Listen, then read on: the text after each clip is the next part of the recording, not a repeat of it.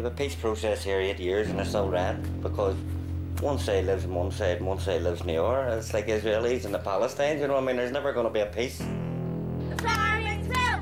Spray water bill! The bill we pay! Surviving on the same!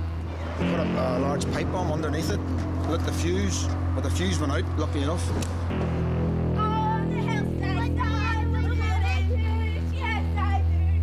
Kneecap, they get shot. They got shot in their knees. Shot with guns in their knees. They can't get any.